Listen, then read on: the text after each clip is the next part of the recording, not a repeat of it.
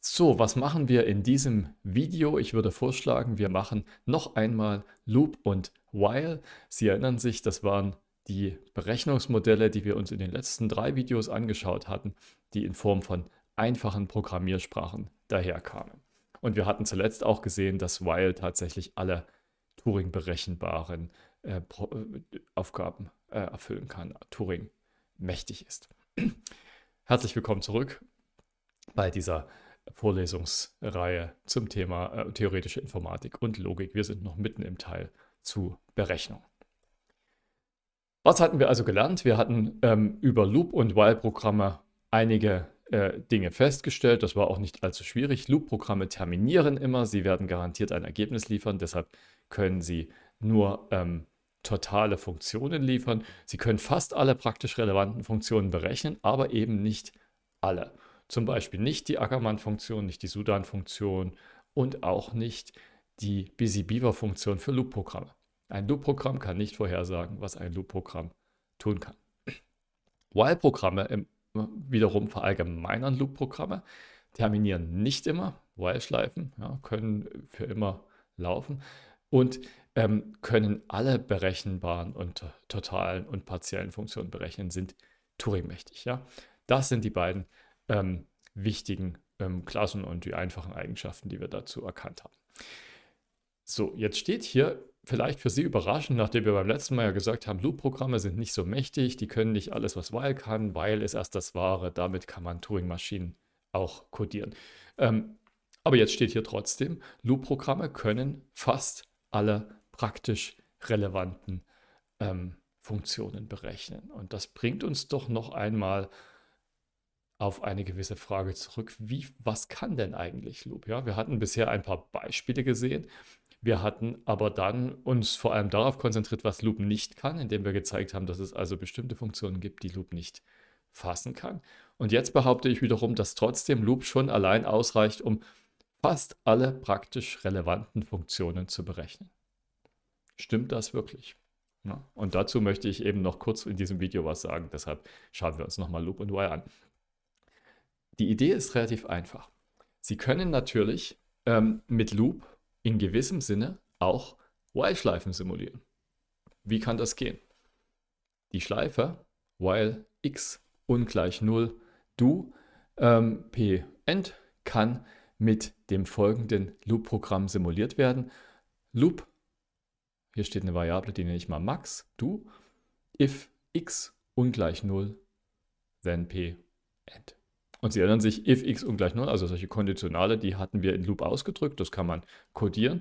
Das ist also jetzt hier nur die Kurzschreibweise dafür. Und außen herum packe ich also einen Loop Max. Das heißt, was ich hier tue, ich wiederhole Max mal den inneren Block, den ich so lange wiederhole, wie p, äh, wie x ungleich 0 ist. Wenn x gleich 0 ist, dann wird das übersprungen und ich werde die restlichen Durchläufe einfach leer laufen, bis der Max erreicht ist. Okay.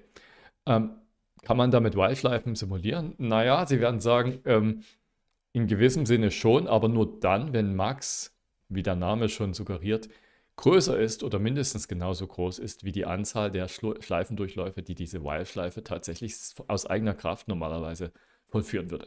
Wenn Max größer ist, ist es nicht schlimm. Durch diese if-Bedingung werden die restlichen Durchläufe einfach übersprungen sozusagen. Ineffizient, okay, aber das ist uns ja egal. Ähm, dann, äh, aber man muss eben mindestens so viel äh, in Max haben, wie tatsächlich passieren soll. Ansonsten wird es nicht funktionieren. Okay. Das heißt, das funktioniert, wenn man den Wert von Max so setzt, dass er mindestens so groß ist wie die maximale Anzahl von Wiederholungen der simulierten While-Schleife. Okay. Gut, also das heißt, nicht nur kann While Loop simulieren, sondern Loop kann auch while simulieren, wenn wir eine ausreichend große Zahl hier eingeben. Okay. Erkenntnis, Loop kann while für beliebig viele Schritte simulieren. Man muss nur wissen, wie viele Schritte benötigt werden. Jetzt ist natürlich die große Frage, weiß man das? Kann man das ausrechnen? Und darüber dürfen Sie selbst mal kurz nachdenken. Ist das eine berechenbare Funktion? Wie oft eine While-Schleife ausgeführt wird? Okay, jetzt haben Sie vielleicht kurz drüber nachgedacht, haben vielleicht eine erste Intuition, dann sage ich, denken Sie nochmal drüber nach. Okay. Denn die erste Intuition ist natürlich, nach dem, was wir bisher gezeigt haben, das ist nicht berechenbar, ja. While-Schleifen. Wie lange eine While-Schleife läuft, das äh, ist ja, wäre ja so, als wüsste man vorher, wie lang ein äh, Programm braucht, bis es terminiert. Und das ist ja fast wie Busy Beaver, ja, die Schrittzahl vorher berechnen. Ähm, kann nicht gehen. Aber wenn man dann nochmal drüber nachdenkt, merkt man vielleicht, ähm, na klar geht das. Das geht. Man muss doch einfach nur das Programm ausführen und ähm, die Anzahl der Durchläufe, die man dabei absolviert, zählen. Ja. Für ein beliebiges Wahlprogramm P sei max P von N1 bis NK die maximale Anzahl an Schleifendurchläufen, die P bei der Eingabe N1 bis NK abarbeitet. Oder undefiniert, wenn P bei dieser Eingabe nicht terminiert. Ja? Und wenn wir die Funktion so definieren, dann ist klar, dass man die berechnen kann. Und zwar so einfach, indem man das While-Programm abarbeitet und in jeder Schleife, die man bearbeitet, mitzählt, wie oft die Schleife läuft. Und äh, aus diesen verschiedenen Teilergebnissen dann das Maximale äh, heraussucht und als Ergebnis zurückliefert. Das lässt sich sicherlich machen. Ja? Das ist also kein so großes Problem. Ja? Was natürlich nicht geht, ist vorherzusagen, ob diese Funktion ähm, an einer bestimmten Stelle überhaupt terminiert. Also ob sie definiert ist oder ob sie aufgrund ihrer Partialität an, einem bestimmten, äh, an einer bestimmten Eingabe keinen Wert hätte.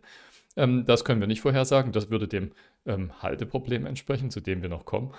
Aber ähm, man kann für die Fälle, in denen das Programm terminiert, sicherlich mitzählen, wie oft man gelaufen ist. Das heißt, das ist eine äh, berechenbare Funktion. Man weiß also, man kann also ausrechnen, wie oft bei einem bestimmten Input, wohlgemerkt, ja, nicht im Allgemeinen, kann unbeschränkt sein, ja, aber bei einem bestimmten Input eine While-Schleife im Programm höchstens ähm, laufen müsste, um die Berechnung korrekt durchzuführen. Und wenn man das berechnet hat, dann kann man diesen Wert in Loop verwenden und damit ein äh, Loop-Programm ähm, betreiben, was genau die gleiche Berechnung wie das While-Programm ausführt. Okay? Und jetzt fragen Sie natürlich zu Recht, wo ist der Haken? Ja? Wir wissen doch eigentlich, Loop kann nicht so viel wie While, darf nicht so viel können, das haben wir schon gezeigt. Und ähm, jetzt behaupte ich aber, man kann berechnen, wie viele Durchläufe man braucht und dann kann man mit dieser Codierung, die ich verwendet habe, ähm, Loop und If geschachtelt, die While-Schleifen auch simulieren und kann dann doch das gleiche ausgeben wie die While-Programme. Okay, was geht schief? Auch da dürfen Sie gerne mal drüber nachdenken. Wie immer können Sie das Video anhalten.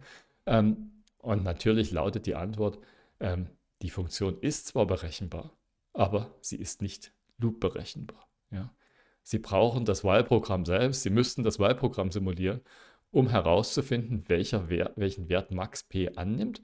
Und äh, nachdem Sie das gemacht haben, können Sie dann auch mit dieser Information ausgestattet das Loop-Programm laufen lassen, was die tatsächliche Berechnung des While-Programms noch einmal durchführt. Ja, also die Welt ist in Ordnung. Es ist nicht möglich, einfach ähm, Loop zu verwenden, um While zu simulieren. Aber wir sehen, diese Schwäche von Loop ist viel subtiler vielleicht, als man zunächst meinen könnte. Ja, wenn ich jemandem sage, da gibt es eine Programmiersprache und die kann weniger als eine andere, dann denkt man natürlich zunächst, da, da gibt es ganz grundsätzliche Funktionen, etwas, was die eine bringt und was die andere nicht bringt. Aber nein, wir sehen, im Prinzip können die fast das Gleiche. Der einzige Unterschied ist, dass Loop nicht ähm, ausreichend äh, große Zahlen berechnen kann. Ja? Denn Überschätzen von Max P wäre ja völlig in Ordnung. Wir brauchen, wir müssten nicht einmal genau diese Funktion berechnen, sondern es würde ja reichen, wenn wir einen Wert, äh, eine Zahl ermitteln könnten, die garantiert größer ist als das, was höchstens im While-Programm gebraucht wird. Das heißt, bestenfalls würden wir einfach ein Loop-Programm schreiben, was eine richtig große Zahl vorberechnet für die Eingaben. Und diese richtig große Zahl, die so groß ist, wie wir es vielleicht gerade schaffen, die ähm, verwenden wir dann als nächstes, um das While-Programm zu simulieren. Und auch das reicht nicht. Ja? Das ist das, woran es eigentlich scheitert. Loop ist deshalb schwächer, weil es nicht in der Lage ist, aus kleinen Eingaben sehr, sehr große Zahlen schnell zu berechnen. Und Sie sehen, was wir bei Busy Beaver gesehen haben, diese riesigen, diese astronomisch oder überastronomisch großen Zahlen, die da aufgetaucht sind, die sind in gewisser Weise auch der Träger von dieser Berechnungsstärke. Ja? Also alles, was Turing vollständig, was Turing mächtig ist, hat die Fähigkeit, mit sehr kurzen Programmen sehr große Zahlen zu bilden. Und wenn man das hat, kann man oft auch das nutzen, um Berechenbarkeit zu erzeugen. Also äh, Turing-Mächtigkeit zu erzeugen, sollte ich sagen. So rum. Okay, das ist also eine wichtige Erkenntnis. Größe von Zahlenwerten, absolute Größe von Zahlenwerten hat etwas mit Berechnungsstärke zu tun, was vielleicht überraschend ist. Ähm, eine zweite wichtige Erkenntnis können wir aber auch daraus ableiten, denn ich hatte ja angefangen äh, zu sagen, die Kraft des Loop. Ja, Loop kann fast alles, was praktisch relevant ist. Und tatsächlich, wir sehen, in vielen Fällen kann man eine obere Schranke für diese Funktion in Loop berechnen. Und zwar einfach deshalb, weil man viele einfache Funktionen, für denen wir schon gesprochen hatten, in Loop berechnen kann. Man kann lineare Funktionen, also Multiplikation, implementieren. Man kann äh, auch x hoch n berechnen, also ein Polynom festen Grades vielleicht angeben, ja, für natürliche Zahlen. Man kann aber auch n hoch x berechnen, ja, also eine äh, exponentielle Funktion bilden. Man kann sogar die Exponenten äh, noch irgendwie schachteln ähm, für beliebig hohe Türme von Exponenten n. Ja? Also all diese Funktionen sind Loop berechenbar, all das kann man in Loop schaffen und das bedeutet auch, alle While-Berechnungen, bei denen man sicher sein kann, dass sie nicht mehr Schleifendurchläufe benötigen als irgendeine dieser Funktionen und noch viele andere Funktionen, die man sich vorstellen kann, ausrechnen können. All diese Dinge sind auch in Loop implementierbar. Und jetzt wissen Sie, warum ich gesagt habe, Loop kann eigentlich alles praktisch Relevante berechnen. Denn in der Regel, wenn wir mit praktischen Algorithmen arbeiten oder mit vielen praktischen Algorithmen arbeiten, dann haben wir eine Abschätzung vorher und in der Regel eine Abschätzung in Form von Polynomen oder in Form von Exponentialfunktionen wenigstens zur Hand, die uns sagt, wie lang denn der Algorithmus höchstens läuft. Ja, das kennen Sie aus der algorithmischen Komplexität. Und wenn man so etwas hat, so eine geschlossene, einfache Funktion, die man mit traditionellen äh, arithmetischen Operationen ausdrücken kann, dann kann man sie garantiert mit Loop ausdrücken. Und das reicht schon aus, um den Algorithmus in Loop ausdrücken zu können. Also all das geht in Loop. Ähm, Schwieriger wird es wirklich erst bei Dingen, die jenseits dieser Berechenbarkeit liegen. Okay, Korollar. Jeder Algorithmus, der zumindest in dieser Zeit O von so einer Exponentialfunktion oder weniger läuft, berechnet eine Loop-berechenbare Funktion. Ja, wenn ich hier die Groß-O-Notation nehme, dann ist natürlich oder weniger in gewisser Weise schon drin, ja, kennen Sie. Ähm, aber ich betone es hier nochmal, ja, damit das klar ist. Äh, also all diese Algorithmen, auch mit dieser relativ langen, astronomisch langen Laufzeit, ähm, sind immer noch in Loop berechenbar. Insbesondere betrifft das alle polynomiellen, exponentiellen oder mehrfach exponentiellen Algorithmen. So ist es. Und jetzt wissen Sie auch, warum äh, Hilbert äh, ursprünglich mal dachte, dass das durchaus ein guter Kandidat ist für die Menge aller Dinge, die intuitiv berechenbar sind. Es ist nicht so offensichtlich, dass wir Dinge berechnen und wirklich brauchen, ähm, die also jenseits dieser Klasse liegen. Aber es kann natürlich vorkommen. Und es kann immer ähm, dann vorkommen, wenn wir wirklich schwere Probleme lösen, bei denen die Laufzeit sehr stark variieren kann mit äh, den Eingaben. Ja? Also wo man im Vorfeld nicht so richtig abschätzen kann, wie lange das dauern wird, wo vielleicht der Algorithmus korrekt ist, aber wo man unter Umständen sehr, sehr lange auf das Ergebnis warten muss.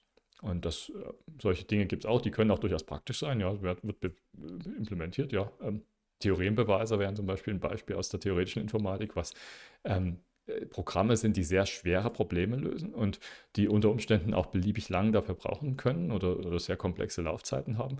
Ähm, und die würde man dann vielleicht nicht in Loop äh, ausdrücken können, obwohl man sie trotzdem implementiert hat. Ja. Okay. Das also mein äh, kleiner Nachtrag zu Loop und While und, und hoffentlich nochmal eine kleine Abrundung und ein bisschen besseres Verständnis für Sie, ähm, wie das zusammenhängt und wie Zahlenwerte, wie, wie die Größen von natürlichen Zahlen und wie die Geschwindigkeit des Wachstums von natürlichen Zahlen, also wie schnell gehen die Zahlen nach oben, wenn ich größere Zahlen in den Input gebe, wie das zu tun hat mit Berechenbarkeit und mit Ausdrucksstärke. Ja. Und ähm, insofern ist es auch nicht verwunderlich, wenn Sie jetzt äh, diese Funktion, den Loop Busy Beaver, den wir definiert hatten, oder aber auch die Ackermann-Funktion oder irgendeine andere dieser ähm, Funktionen hernehmen, die man äh, herausgefunden hat, die zeigen, dass Loop-Berechenbarkeit schwächer ist als While-Berechenbarkeit, dann sehen Sie, dass das alles Funktionen sind, die unglaublich schnell wachsen, die schon bei relativ kleinen Eingaben riesige Ausgaben produzieren. Und dieses sehr, sehr schnelle Wachsen, das ist eben jenseits der Fähigkeiten von Loop. So äh, kann man sich es auch vorstellen. Okay, ähm, das war alles für dieses äh, kurze äh, Video. Ähm, beim nächsten Mal wollen wir uns dann mit dem Halteproblem beschäftigen und verschiedene Argumente und Beweise sehen, warum das auch ein unentscheidbares Problem ist. Das ist natürlich eines der bekanntesten und, und sehr interessanten unentscheidbaren Probleme. Ähm, bis dahin, tschüss und auf Wiedersehen.